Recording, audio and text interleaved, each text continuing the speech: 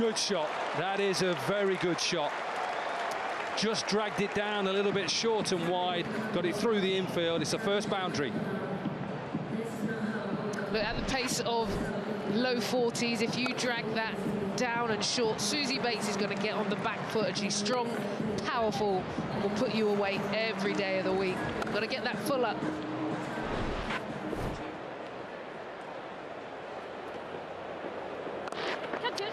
This is easy pickings. It's a poor delivery to finish the first set. Two boundaries, nine off five balls. Yeah, this is not good from Higham. Two really, really short balls, loopy, and just sat up and said, hit me, please. Suzie Bates is going to cash in every day. Now that's firmly struck. One bounce and into the fence. This is a good start. Bates is in very good form. He's really good in the Commonwealth Games for New Zealand. And she sized up Jenny Gunya very quickly. She's realised what the plan is, and she's found a way. It's just too full, though, from Gunn and her pace. She's come out with intent. Bates has gone big here. She's gone humongous. Just use the pace of the ball. And a maximum. Happy captain as well.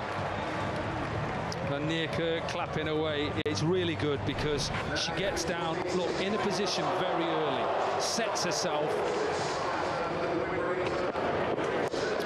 Davidson Richards tried to take pace off. And the power, okay, it's not that much there, 59. She didn't really have to overhit it, just help it on its way.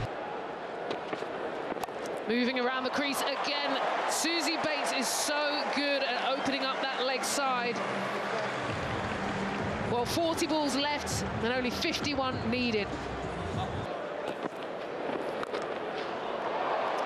But bowling like that is going to get punished every day of the week. Well, the crowd are starting to make more noise for the home team, and they are loving it. Yeah, the quality of uh, Suzie Bates is not missing out on that juicy full toss. Came down and just helped herself, really. Oh, Suzie, you're going to hit me soon? Well, it's gone up in the air and taking the pace off it may have just worked. Yes, it has. Gets her hands under the ball. Suzie Bates, who's batted brilliantly, is going to have to go for 46. Yeah, it's so slow. She tries to get this a little bit squarer. And gets it too straight. Good catch by Laura Wolvaardt. And of a superb innings as well by Suzie Bates. She goes for 46. Invincibles need 40 from 32.